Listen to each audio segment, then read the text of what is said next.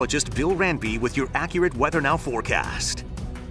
Randby Factor Time coming up for Tuesday. I give Tuesday a 7. Pleasant for being and working outside.